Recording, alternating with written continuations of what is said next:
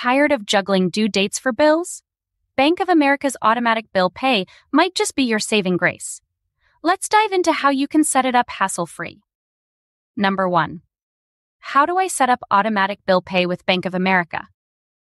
Ah, the convenience of automatic bill pay. It's like having a personal assistant for your bills. So here's the lowdown first. Log into your Bank of America account, then head over to the Bill Pay tab.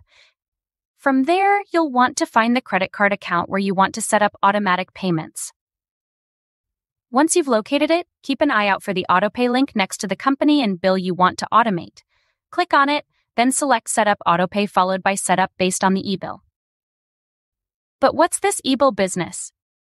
Essentially, it's a way for you to receive your bills electronically, which makes the whole automation process smoother. Once you've set up AutoPay based on the e-bill, you're pretty much set. Your payments will be made automatically on the due date, saving you the headache of manual payments.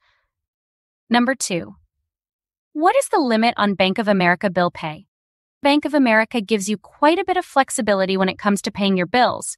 You can make payments from your account for any amount up to $99,999.99. That's a pretty generous range, right? However, there's a tiny catch some payees might have their own limits on the amounts they'll accept via electronic transmission. So, what happens if you try to pay more than this electronic limit? Well, fear not. Bank of America has a solution. If you exceed the limit set by a payee, your payment will simply be remitted by check instead. It's a handy backup to ensure your bills get paid, even if they're a bit on the hefty side.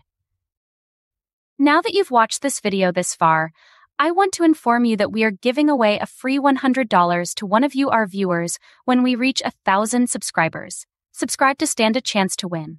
And as always, thanks for watching.